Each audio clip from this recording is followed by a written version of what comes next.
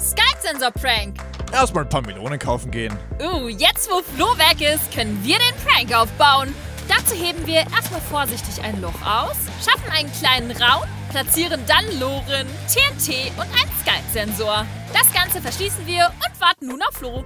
Da ist er ja. Hilfe! Mein Haus! Yeah, das hat ja super geklappt. Ah, das kriegst du zurück.